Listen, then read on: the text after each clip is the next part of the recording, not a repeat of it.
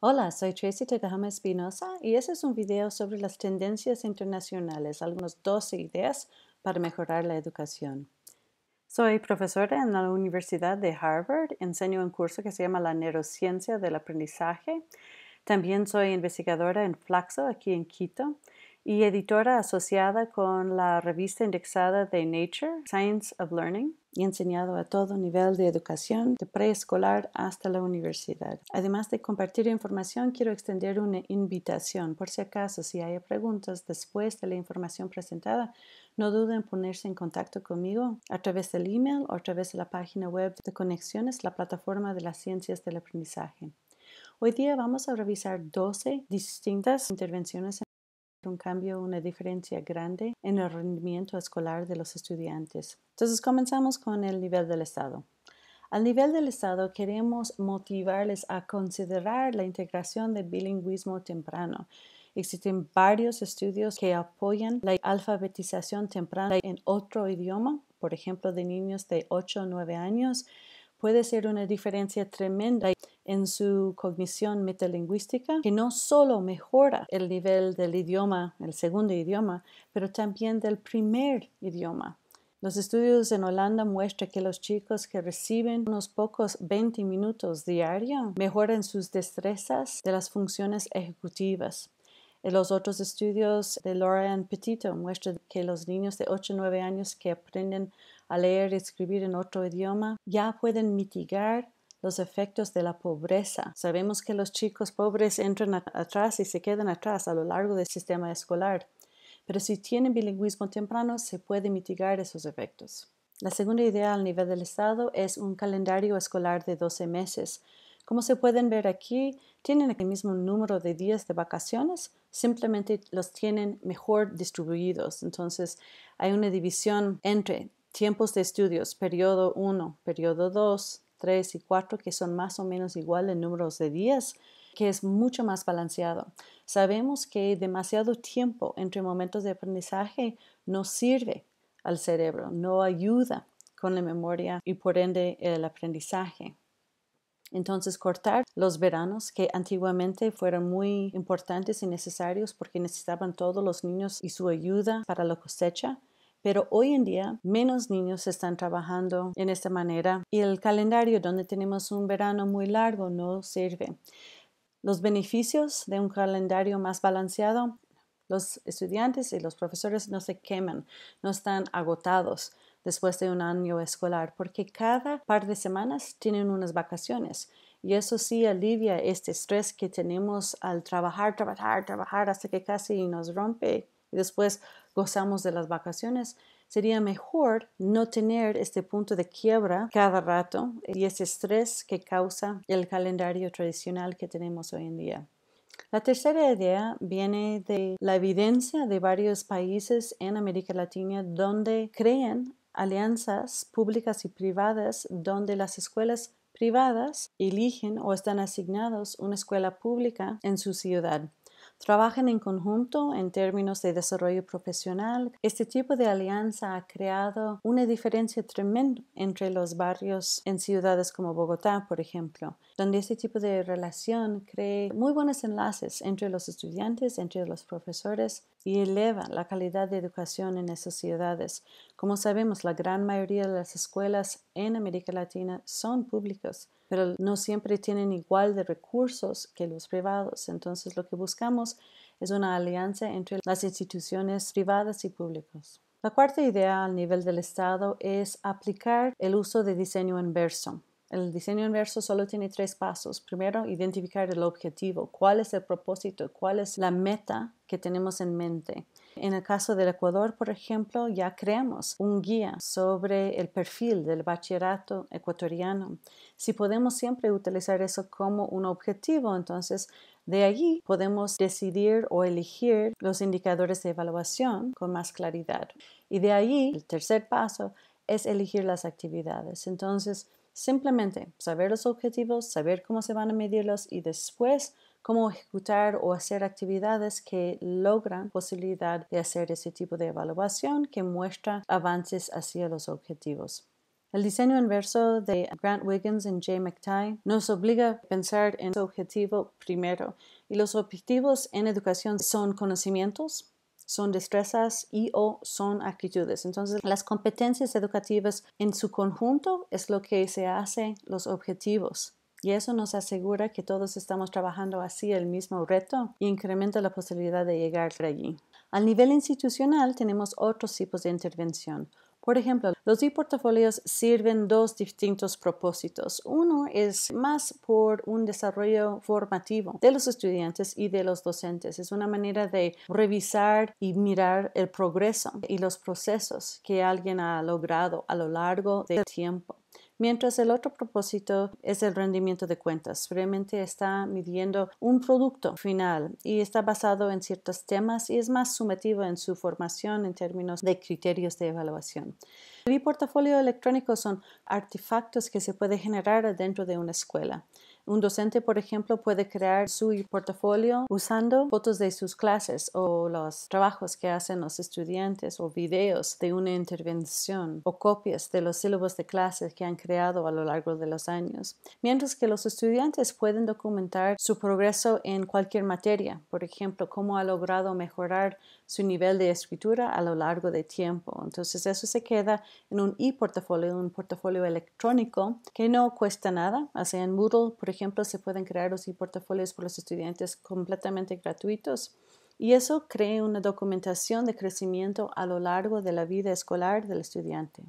Otra idea a nivel de institución es trabajar en estudio de lección o lesson study de los japoneses. Es una metodología donde la planificación de clases o el estudio de la lección involucra toda una institución que está enfocado en el desarrollo profesional del docente.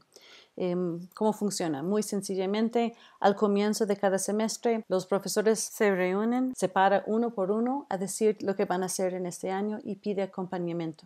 Por ejemplo, hola, yo soy fulano de tal, yo enseño matemáticas en primaria y este semestre voy a experimentar con una nueva metodología de enseñanza del resto. Eh, yo quiero saber si alguien quiere acompañar. Gracias. Después, la siguiente persona. Bueno, yo soy eh, docente de ciencias en el colegio y yo voy a usar otra estructura de experimentación en mi laboratorio. Quiero saber si alguien quiere acompañarme. Uno por uno hace que todos han presentado.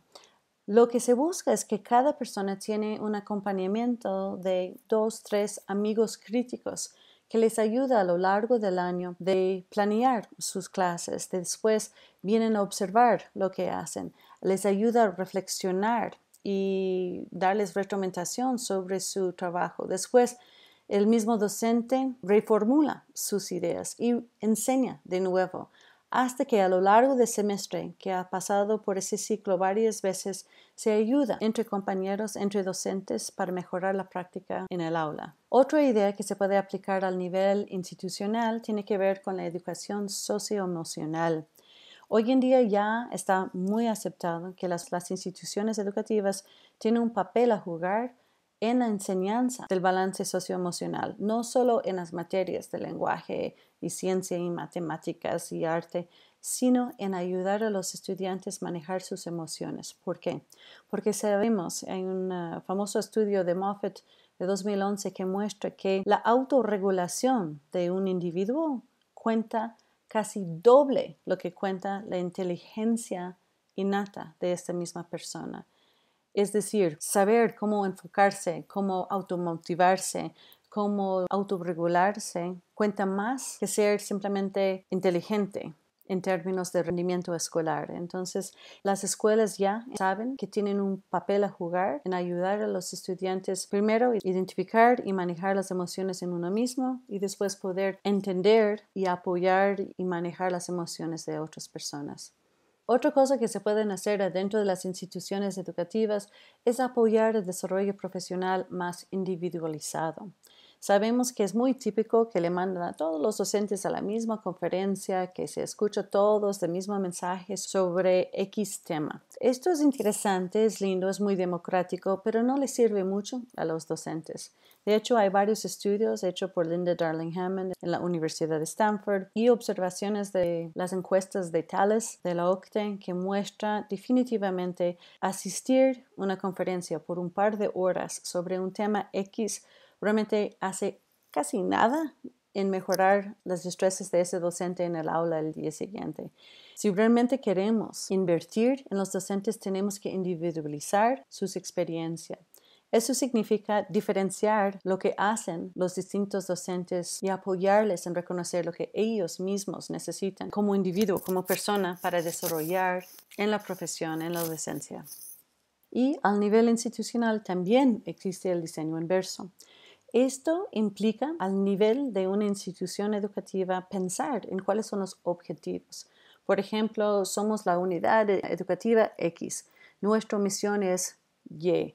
Buscamos hacer qué? ¿Cómo se ve el perfil de nuestro graduado? El estudiante que pase por 12, 13 años con nosotros ¿Cuáles realmente las características de la persona que estamos tratando de cultivar aquí? ¿Es una persona que tiene empatía, que sabe trabajar con otras personas? ¿O es una persona que simplemente pasa muchos exámenes? Lo que sea. Tenemos que estar de acuerdo al nivel institucional cuál es el objetivo, cómo se ve el perfil de nuestros graduados.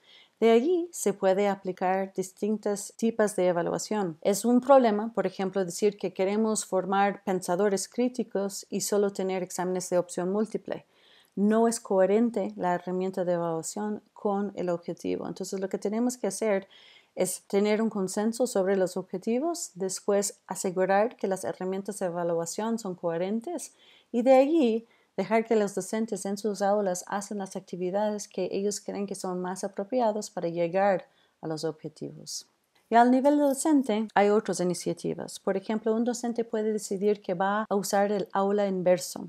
¿Qué es el aula inverso? Eso significa invertir el orden de las actividades. Normalmente, nosotros entramos en una clase, le explicamos información a los estudiantes y les mandamos deberes en sus casas. Y después regresan los chicos, reciben una nota por su deber y después pasamos al siguiente tema. Lo que se hace en un aula inverso es muy distinto. Primero les manda el deber. Por ejemplo, un video que explica una manera de hacer multiplicación o la tabla de elementos químicos o géneros de distintas formas de arte. Les manda el video antes para estimular la curiosidad de los estudiantes, para crear preguntas y al llegar a la clase, los chicos pueden plantear preguntas. Mira, entendí la tabla hasta X punto, pero no entendí la lógica de los números, por ejemplo. O me perdí cuando vi la distinción entre modernismo y cubismo en el arte o lo que sea. La idea es dejar que está centrado en el estudiante, que el estudiante mismo genera las preguntas que van a ser la materia de la clase. Lo que está enviado por video son los datos, fechos, hechos, toda la información que normalmente entrega el docente adentro de la clase y eso crea la oportunidad que el tiempo adentro del aula ya está utilizado para enfocar en las necesidades de cada estudiante. Otra cosa que se puede aplicar los docentes en forma individual es aceptar que todos los docentes, independiente de su materia, son docentes de escritura. Escribir y leer son las piedras fundamentales de cualquier aprendizaje, de toda la materia, porque utilizamos lenguaje para comunicar la información en todas las materias. Entonces, saber escribir bien es uno de los retos más altos que tenemos en la educación. Desgraciadamente, aquí en América Latina estamos tres a cuatro años atrás del nivel de escritura que se encuentra en otros países del mundo. Y justamente es por la falta de práctica. Tenemos que mejorar la cantidad y calidad de lectura y escritura que tenemos. Tenemos un nuevo programa que se llama Think Right MBE que tiene que ver con mente, cerebro y educación. Es una manera de hacer visible las partes invisibles del proceso de escritura.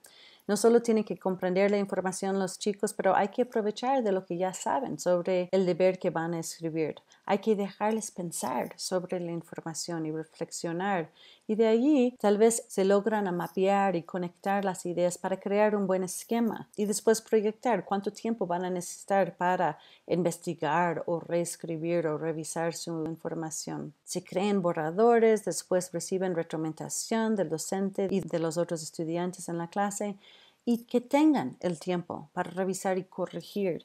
El mejor momento para aprender es cuando ya sabes lo que no sabes. Es muy, muy importante darles ese tiempo después de que reciben su nota o la retroalimentación para poder corregir sus fallas. Es allí donde hay más crecimiento en términos de escritura. También al nivel del docente individual se puede aprender sobre el cerebro. Hay solo seis principios básicos de cómo funciona el cerebro, que cada cerebro es único, la singularidad del cerebro por ende, existe esa variabilidad humana que las experiencias previas son muy importantes en el conocimiento nuevo de nuevas materias. Hay cambios en el cerebro diariamente basado en las experiencias de vida que cambia la manera que aprende un chico a lo largo del tiempo, que el cerebro es clásico a lo largo de la vida, que sin memoria o sin atención no hay aprendizaje esto es información básica de la neurociencia que sirve a los docentes. También existen 21 tenets o preceptos que son muy variables. Por ejemplo, la motivación es muy importante en el aprendizaje, pero lo que te motiva a ti no necesariamente motiva a mí, ¿no? Entonces, todas esas eh, ideas aquí, las 21 cosas aquí, son muy importantes en el aprendizaje, pero como hay esta variabilidad humana muy grande, hay que entender cada estudiante en forma muy individual para aplicar los preceptos. Junto con la neurociencia, el uso de la tecnología es una de las áreas de más necesidad que tenemos los docentes en el aula moderno. Hay que aprender a usar los recursos educativos digitales para facilitar y aprovechar del tiempo que tenemos en el aula el uso en el contexto educativo es mayormente em, a través del teléfono, no de computadoras. Y la gran mayoría de los estudiantes sí tienen teléfonos. Muchas de las aplicaciones se pueden utilizar sin el uso del Internet. Entonces hay que aprender y entender qué existe en términos de los recursos educativos digitales y cómo se puede usarlos para ahorrarnos tiempo y personalizar nuestras respuestas a las necesidades de los estudiantes en el aula. Y finalmente, al nivel del docente, en cada clase que planeamos, en cada intervención con cada estudiante, debemos tener esta mentalidad de planificación inverso, el diseño inverso. ¿Qué es lo que deseo? ¿Cuál es mi objetivo con este estudiante, con este día de clase, con esta intervención que estoy a punto de hacer? Y después, ¿cómo voy a saber si esto funcionó? ¿Cómo voy a medir? ¿Qué evidencia? ¿Cómo voy a evaluar mis logros de aprendizaje? Y finalmente, ¿qué hago en el aula? Es muy común que visito muchas aulas, muchas clases alrededor del mundo. Un docente tiene una clase de maravilla y yo le pregunto, ah, interesante lo que hiciste en la clase, qué linda actividad. ¿Por qué lo hiciste? Y es triste reconocer que muchos docentes no saben cómo responder, no saben por qué están haciendo alguna actividad. Ah, porque mi libro me dijo que debo hacerlo. Eso no es buena razón. O el syllabus me indica que eso es el tema de hoy. Tampoco.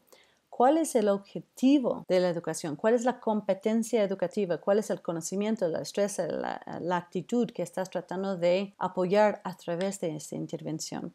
Nosotros tenemos que aprender exactamente cómo aplicar y pensar en esta forma de diseño inverso cada vez que entramos en nuestras aulas.